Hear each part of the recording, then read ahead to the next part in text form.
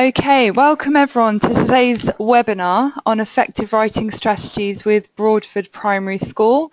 Um, we're delighted to be joined by Malcolm Drakes, who's the Executive Head Teacher of Broadford uh, Primary School, which is one of Whole Education's uh, partner schools.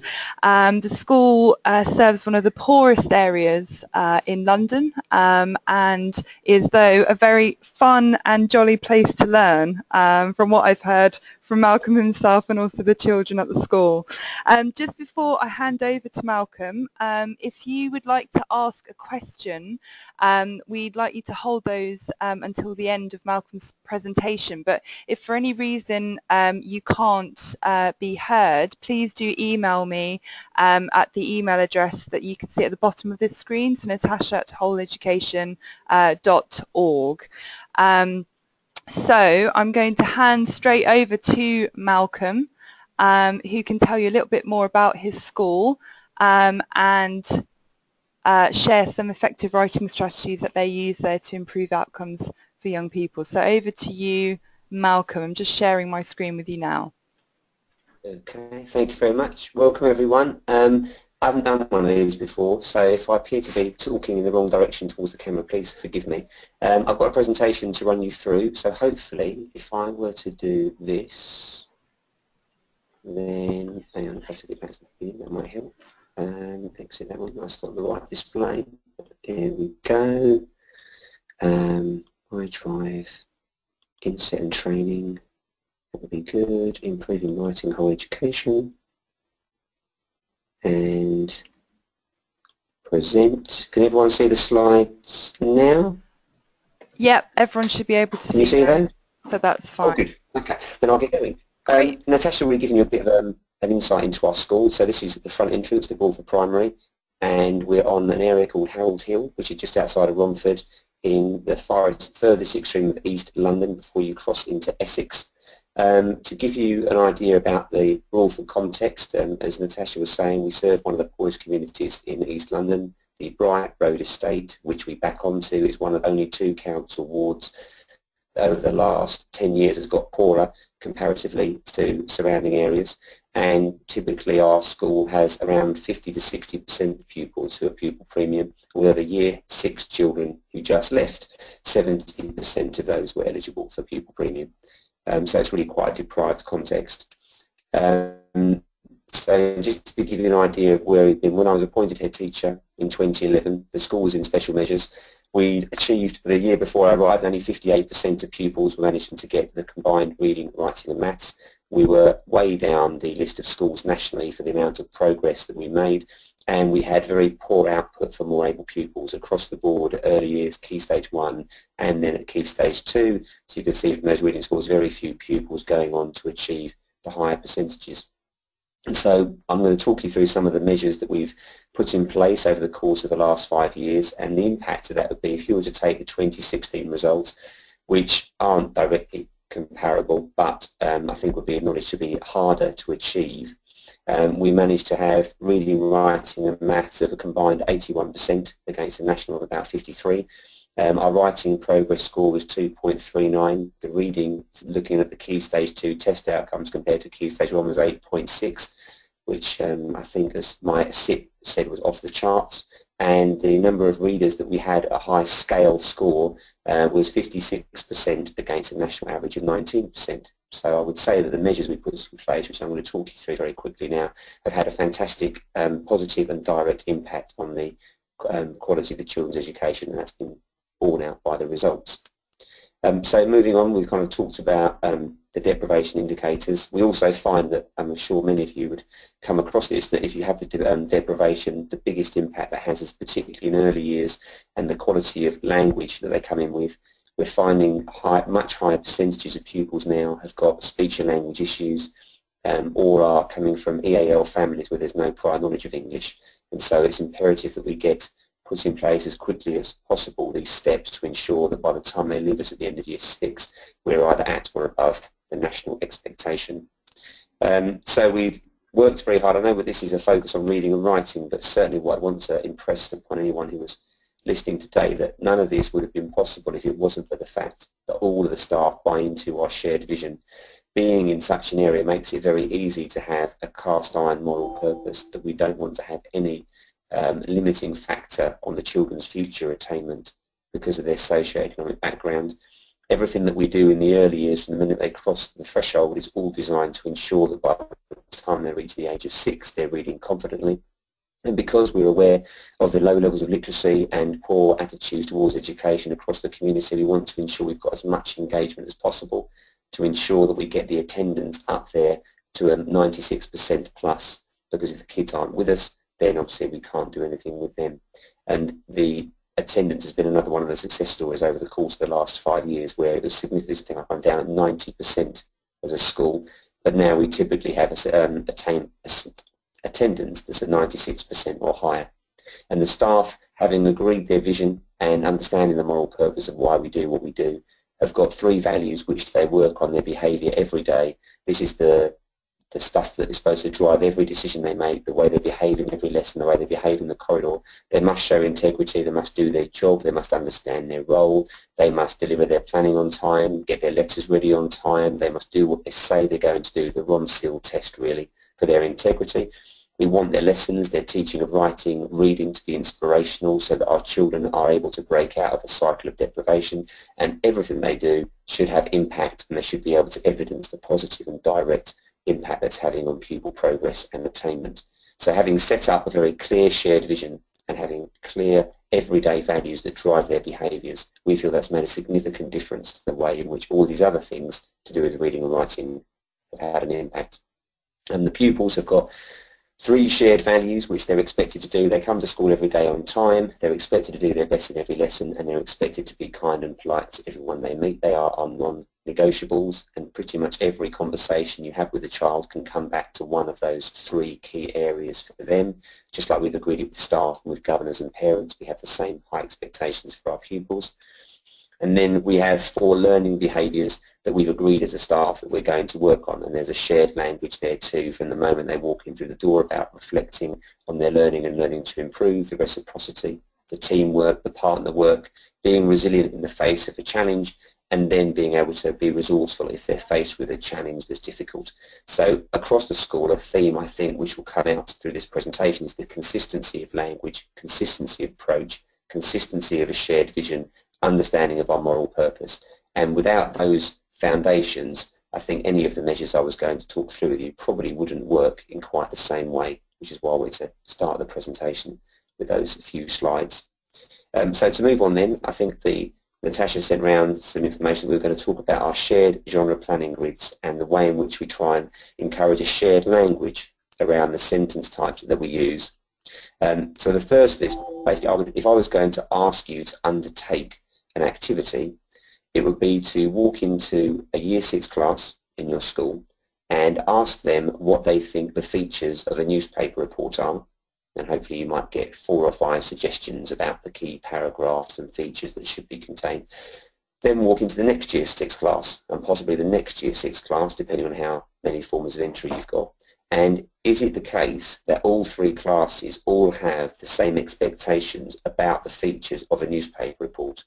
If you then went down the corridor to year five, would your year five classes have the same expectations about what the key features of a newspaper report are? If you went to that teacher in year four who's been with you for only a term because they're an NQT, would they have the same expectations about what the features of a newspaper report are? And this is nothing to do with Broadford Primary, it's something that came through Alan Peat training, which we had a few years ago and we've decided to take on board. Um, if you're going to have success with your writing, there would need to be a collegiate approach across all of your staff. We certainly found at Broadford that one of the issues was that the lack of achievement wasn't down to consistently inadequate teaching, it was down to consistently different teaching. Teachers had different languages around newspaper report features. Teachers had different expectations about the level they expected the children to reach within that year group teachers had different language around the sentence types they were trying to use. And as a child progressing through the school, that can be incredibly confusing. It also means that if they can't articulate to you clearly what the features of a news report, newspaper report are, it's unlikely they're going to be able to write one effectively, particularly unaided. and that we want our school to have a progressive collegiate approach so that as the pupils move through, the structure itself doesn't change, but the language and the expectation for that language does become increasingly more complex. But it means they can go into each lesson confident they know what it is the teacher is going to be expecting of them and what the technical terms are that are going to be used. And we found that's made a huge difference. Um, if I was doing it with the staff, what I'd ask them to do now would be to take two minutes and write down their key features of either a newspaper article, some instructions, a recount, and then in that staff meeting I'd ask them to turn to their partner and then compare, have they used the same language, have they got the features in the same order? Because if they haven't, then probably there needs to be some work done there on the level of consistency across that year group or across that phase or across that key stage to ensure that the children are all getting a consistently excellent deal and the language is the same. What we don't want, and that we found, is that children are having to consistently be retrained each year as they move forward from year three to year four or year four to year five, and that's just lost learning time. That's a waste for everyone. The consistency that we have across our genre planning grids um, is also there with our consistent vocabulary about sentence types. We also expect our staff to have a consistency with the way in which they play with language and present it as something fun to be doing, to get the children to become more curious about words, where they came from, how they're formed, how they're linked together, and especially modelling, the staff are expected to dip in and out of the staff library to use that to inform their practice and everything that they show the children should be presented in context. Uh, we've had conversations as a school about the use of powerful words and then just plastering them all over the wall. But that's of very little use to our intake of children who aren't able to really understand a word unless they can see it used in the context of a sentence. And they need to see that all the time. So we expect our staff to consistently ensure that all their language and key terms are always given a context within the classroom rather than just lots of displays that have very little meaning. So what it would look like, our genre, genre grid is a simple table. It outlines the features, something for the pupil to think about, and there's a sentence starter. So if I was to break out the presentation, I should be able to show you what this looks like in practice. Uh, we use a Google domain system so that everyone can see all of the documents that we share as a school. And then assuming that the document is going to load for me, here we go. There's some blurb for the teachers on how it works. There are um, the sentence types are included within the pack so they can clearly see they're called 2A sentences. Every teacher refers to them as 2A sentences. You've got some examples of how they work. Um, you've then got some teaching tips where the teacher is, point, is pointed out to them to make sure they draw attention to the commas, to see if they can extend this by using alliteration, to try and not, and then some teaching points to make sure they avoid using more than two adjectives together. So you can see a range of sentence types there, each with the teaching tips and the exemplification so that all of the staff are all using the same language all of the time. And then as we move forward, apologise for the speed of the scrolling, we get onto our shared genre planning grids. Um, I'll come back to word play games in a moment. That's another part of the presentation. So again, these are all shared, and you can see here with how to write instructions, it's got the features, what to think about, some examples, and some sentence types that could be included. So I would expect in my school that all of the children, if you said, what's required when you write instructions, they would say, Mr. Drakes, you need a title. You need to tell me why you need these instructions. You need to tell me about the equipment or ingredients that are going to be used. And you need to tell me the method that you're going to have to achieve the outcome. And finally, there will be a statement at the end that will tell me how I know I've been successful. And then as you can see from within this genre grid as the teacher goes to it, there are some examples of what this might be like. How to bake a cake, how to catch goblins without being bitten. And then there are some different features that could be included. Now, it doesn't matter whether they're year two, year three, year four, year five, year six. A set of instructions will always have a title. You'll always have to say why you need them. You'll always have to give the equipment or ingredients. You'll always have to give me the method. And you'll always have to conclude the sentence to let me know how they've been successful. The progressive part of it obviously comes in the expectation for the sentence types and the vocabulary and the position of the instructions. That's where you would build it towards the higher retainers as you move towards the end of year six. But every child knows what makes a set of instructions, they know what goes into writing a recount, they know if they flip forward what goes into writing an explanation, they know what goes into writing a non-chronological report. And across our school, one of our strengths, I believe, is that this is laid out for all the teachers, whether they're here for the first week or whether they're um, in a position where they've been with the school a bit longer. The booklet is there to underpin all of their classroom practice. Um, moving forward, um, we tried to give lots of examples about, I mean, consistency for us is something that we do in a whole different range of areas. Um, the idea being that we have silent signals which we take from our read writing. That's the predominant vehicle we use for teaching literacy in Key Stage 1. And the silent signals from writing, the silent hand signals, the one, two, three to move the children around the classroom, the turn to your partner signal, the my turn, your turn. Those silent signals are used by all teachers in all lessons across all parts of the school from early years all the way up to year six. So we're very consistent there as well. Everyone's got the same pupil values, even to the point where all of our staff have all got the same design of coat, so that when we're all out in the outdoor area, you've got a clear vision of who's staff and who isn't. The writing displays expectations around the school, which I'll show you in just a moment, and the general level of signage to ensure there's a consistency of language and expectation so, big write and sentence size. One of the things I was asked to talk to you about was how we approach the practical aspects of writing. You've got those underpinning aspects with the sentence types and you've got the genre planning grids. Um, every Friday is the Big Write Friday. But one of the things we found was that the Big Write was too standalone. On a Friday, you might be having one genre one week, a different genre the week after. So now the teachers have changed it. So we block our genres we link it to their literacy and language topics in Key Stage 2, which are as a kind of an add-on to the Read Write Inc. program. And then they do the same genre for three weeks. In week one, they'll be doing their initial piece of work, and the teacher will mark that and identify some key improvements to be made. In week two, they'll do the same style of work again and then be able to implement the improvements, possibly looking at some of those during their early morning work in the four, because they've done the piece of work on the Friday, teacher will have marked it and they'll have early morning work on the Monday, Tuesday, Wednesday, Thursday, where they've got the opportunity to edit and improve. On the second week, they'll write again, and there should be clear progress between the quality that's been done in week one to week two. And then finally, week three is just the finished article. And we found that by giving each genre three clear weeks and giving the children a meaningful opportunity to edit and improve that piece of work, means that they're able to evidence far greater progress and have a much better understanding of the genre by the time they're finished.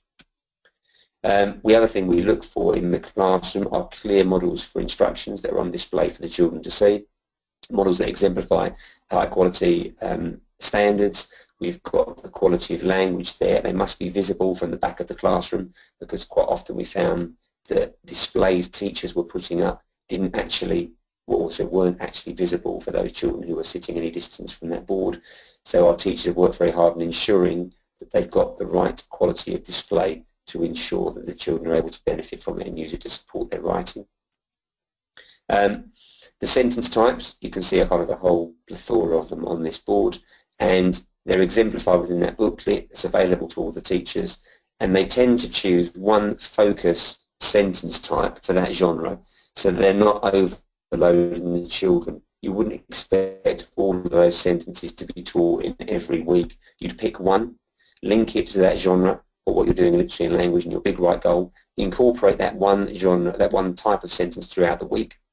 And then the stocking fillers relate to an activity we do as a warm-up before they're writing on the Friday. And then that would be the success, one would be part of the success criteria for your big write on the Friday that you'd want to see that specific type of sentence. You'd have three opportunities, week one, week two, week three, where you'd be able to include that specific sentence type. But if you were doing that, that means you're doing two sentence types per half term, which would mean over the course of the year, that's 12 different sentence types, which would mean from year three to year six alone, you've covered all of them and had plenty of chance for consolidation, but have covered them in a meaningful way in context to ensure maximum impact. In terms of rewards, that's the key part of what we do. So you, uh, I've got members of staff who give out chocolate footballs for using the focus sentence of the week and they have a Champions League table for the number of children who've scored the most goals. We've got um, space for children to stick their post-its on the displays as they move forward to show how they've edited and improved. These sentences have been a way of picking out who's going to be the star writer of the week ready for assembly, where they're going to get their golden pencil and certificate to be able to take home. And that reward system and the high profile of literacy around the school really shows, I think, high expectations for the outcomes we expect all of the children to have. Outside every class, they've all got a consistent board where they're expected to display their star writer of the week, the book that they're currently reading at the moment, and then there's a word jail where as you walk into the classroom you're not allowed to use any of the words that's in the word jail and that's something that varies from class to class depending on which particular habit it is that the teacher is trying to squash. But we find that this general celebration of the writing and the reading outside every class has really given literacy a high profile within our school and impressed upon the children the need for high standards in everything they do. And this celebration with the certificates, the golden pencils, the word jails has impressed upon them just how key it is that they have high quality writing and reading. And then those children who do particularly good piece of work have their writing shared on our website. Um, you've also got whole school displays of the writing. Once it's been outside the classroom, it moves to the whole school display. And then obviously if they've done any writing as the class, we want to celebrate that as much as possible. So we encourage our teachers to have high quality displays around the building to celebrate the writing and poetry they've been doing. Um, the next thing I'd mention in terms of school improvement would be the standards. We've kind of touched on this already, that if you were to walk into one class and ask them what they'd expect to see in a set of instructions, what would you expect to see in the second class? Hopefully the same. In terms of standards, one of the things we had come up was that if you were to ask your staff, when by the end of what year would you expect a child to be able to write a simple sentence which is um, complete with a capital letter and a full stop? And it might be interesting to get the view of your staff because if you get any difference between some people saying, well, I think that could happen in reception, I think that could happen in year one, straight away you've got an issue with standards because not everyone is expecting the same. And certainly none of the staff here would say they've got anything less than high standards. But when we went through this activity where we went down that list of sentences, we had some quite different ideas. Some people thought that use of a connective with when, if or but wouldn't occur until year three, end of year three. Some people thought it should be happening at the end of year one, so there's a two-year gap. Some people thought the experimenting with language for effect with imagery, metaphors and similes should be occurring in year three. Some people put it in year five. And if as a school you've got teachers possibly working in the same year group and they've got very different expectations about when children should be expected to reach particular milestones, you're probably going to have a problem with the outcomes at the end because they won't be of a consistently high quality. In terms of outstanding standards across the lines, we've got a pledge to our logbook and our writing where we talk about the quality of handwriting and the standard presentation. We expect when we go in and observing lessons that we'll see the teacher modelling how they write on lines, showing children the ascenders and descenders being placed in context. And we've got a teaching and learning policy which is full of uh, checklists for different aspects of what we do during the school day, whether it's displays, early morning work, um, what we expect to see in our marking policy. And that consistency of standards means that we build towards an outstanding outcome, certainly when we were inspected in 2014, and we feel that's part of the reason that we've managed to maintain outstanding outcomes since then. Um, the early morning work was mentioned by Natasha in the um, flyer that got sent round to you and our approach to marking. So if we moved on to that part now, so I'm just conscious of the time that we have a soft start to the day with the doors opening at 8.30 in the morning. The pupils then stagger their way into class as they turn up, they enter the building and come on in. We don't officially register until 8.55 like most schools, but it does mean that the vast majority of children are in by 8.40. Um, there's a large number of them that are in at 8.30, so they've gained almost 25 minutes of extra time we found as a school that calm starts the day with the music playing in class, the welcome environment, meant that behaviour issues that we used to have before school with um, Ill, um, illicit football matches going on and parental disputes, it all vanished almost overnight. And it's going back some valuable time where you can do some of this small group work. It's allowed us to develop time where children can meaningfully respond to marking that's been done in their books. It allows the teacher to pre-teach work to small groups. It could be the more able children.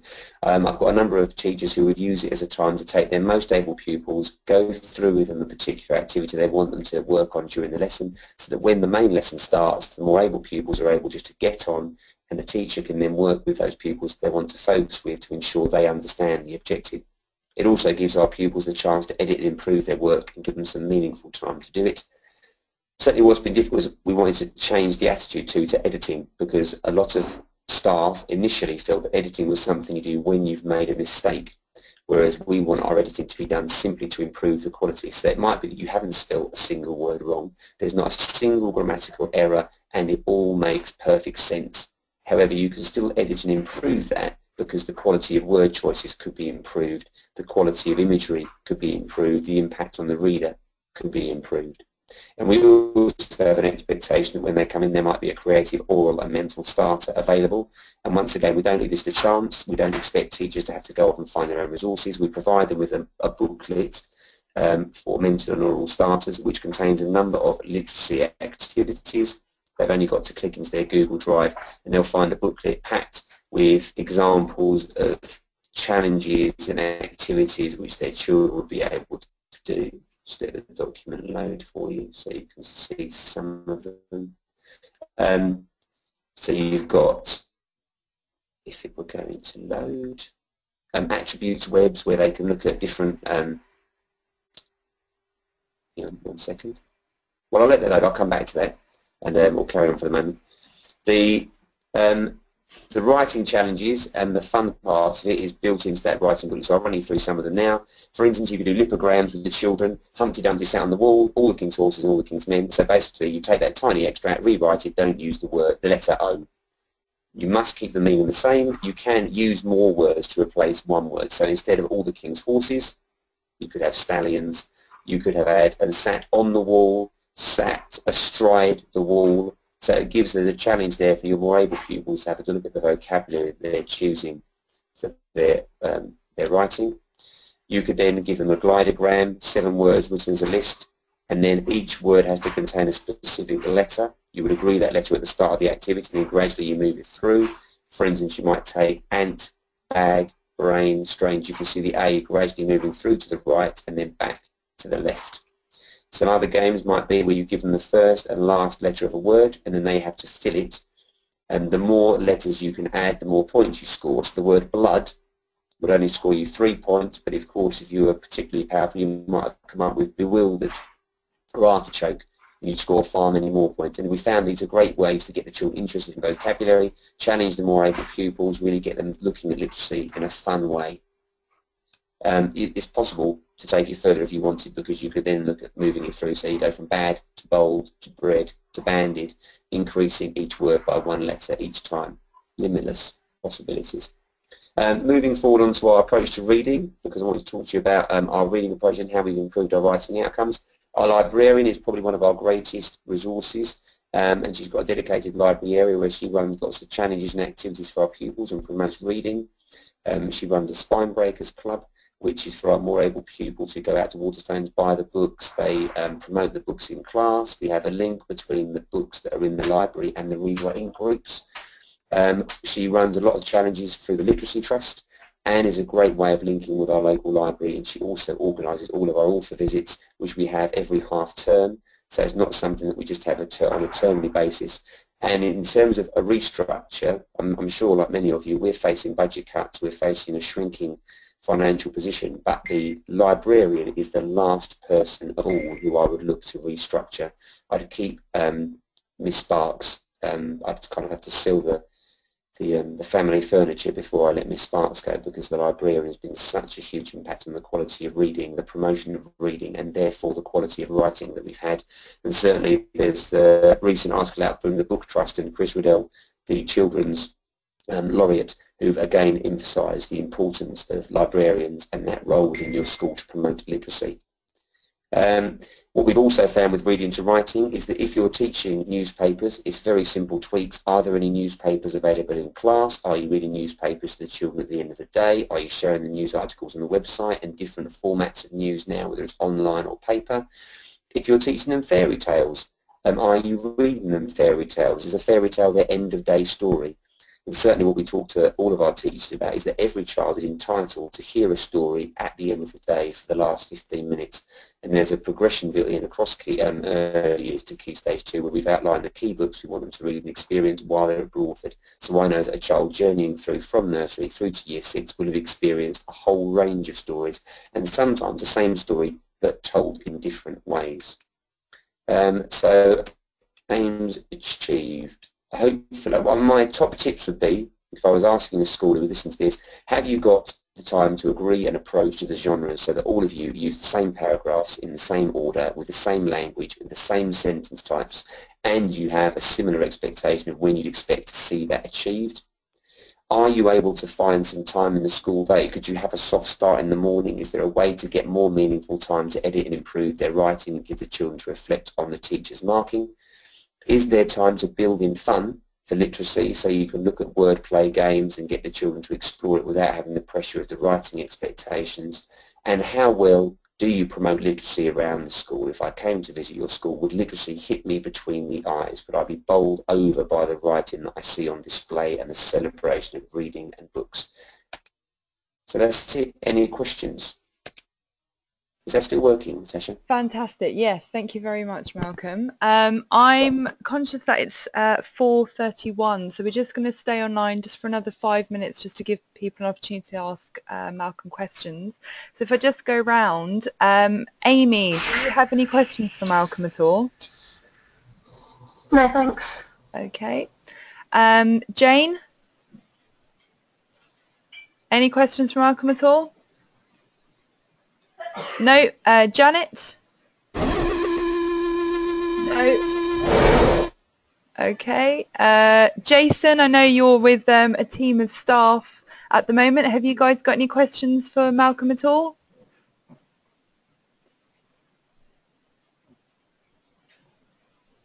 Uh, okay. Joe, any questions at all?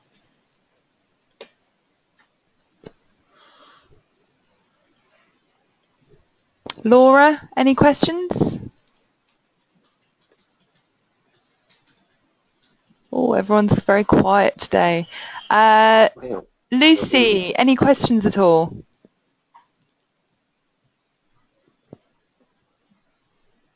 No. Uh, and Sherry, any questions at all? No, Malcolm, it looks like we have no questions for you today. Um, I think it was uh, thought you gave us such a great selection though there of, um, of strategies that people can apply to the classroom um, and it was fantastic. I think what would you say is what would you say is the biggest challenge um, for your staff in the school um, at the moment with, with writing and, and how are you overcoming that? I think the biggest issue was the consistency of expectation in growing teams because when I first started at Broadford in 2011 it was only one and a half form entry school and we've grown to a two form of entry, now it's a three form of entry, and we're federated with Mead Primary, so effectively in most year groups we're actually a six form of entry school. And to ensure that all six teachers in that year group have all got similarly high expectations and an equally clear understanding of what they need to do to get the children to the correct writing outcome, I think that's the, the biggest challenge. And we've got enough, we've, I mean, out of, I think it's uh, 12 teachers in Key Stage 2, seven of them are in their first two years of teaching. So mm -hmm. making sure that teachers who are very new to you very quickly get inducted, understand where these resources are, know what the expectations are, so that those children aren't missing out. And so we found with recruitment being a bit of an issue, the number of Teach First students we've taken on, or SCITT program students, or NQTs that we've got, is vital. That you have as a school those key resources that you can go to as part of their inductions and make sure that they're not missing out. Because from what I've seen before, those teachers who aren't teaching at the level you expect as an SLT do an observation, normally because they haven't got the resources and the access to them or the subject knowledge. So you need to really ensure there's as much there as possible to back them up and get them ready for teaching the high quality yeah. lessons you want to see. Yeah, fantastic. Okay, thank you very much for that, Malcolm. Um, as we've got, uh, I've not received any other questions. Um, ah, I've got, just received one question um, from uh, Hannah. Um, So, uh, and the question is, if Malcolm would suggest one change we could make, what would it be? And this is from Hannah and uh, Jason at St John's, which is part of the Keys uh, Federation up in Wigan. So the Um, I'd question probably is, suggest having did you get discussion with your staff. Yeah, no, I've got the question. I'd, Okay. I'd probably have to discuss with your staff this idea of a shared approach to the genres so that you don't find that some, I mean, everyone in your school could all be teaching perfectly well, but if they're teaching every genre slightly differently, their impact is going to be lessened. So if you could agree a common language that we are all going to, when we teach a newspaper, say that you need to have a title, you need to have, you could have it the 5W paragraph or the lead paragraph or the header paragraph, it doesn't matter what you call it, but you all call it the same and you've got the same expectation of what you're going to find in that paragraph. And I think you'll find it easier to compare writing across the school, to be able to exemplify progression, so the children will find it less confusing. And it's just that conversation with staff about what they want to see in each paragraph of each type of genre. Fantastic. Okay. Great. And I've uh, I've got so I've got um, let me just check if I got any other questions. No, I think that's it for questions. So I guess all that's left is to say again, thank you very much, Malcolm, for, for leading today's webinar. Um, I think I- I've certainly really enjoyed that, and I hope everyone else online did uh, too. Um, I just wanted to um, flag up to everyone um, the annual conference um, that's taking place in January. Um, I hope everyone can see the screen. So it's on the 26th and 27th of January um, this uh, next year, rather, for whole education. Um, day one is going to focus on doing uh, achieving more with less. Um, we've got breakouts on uh, topics such as harnessing technology to achieve more with less, um, rethinking curriculum pedagogy and resources at primary. Um, we've got speakers including uh, Professor Tim Brighouse, um, Neil, Carmichael, who is the chair of the Education Select Committee, and Caroline Waters, who is the deputy chair of the Equality and Human Rights Commission. Um, day two of our conference on the 27th of January is being facilitated by Professor Andy Hargreaves, and we also have a keynote speaker, um, which is Sir David uh, Carter. So if anyone is interested in attending, please do go to our website,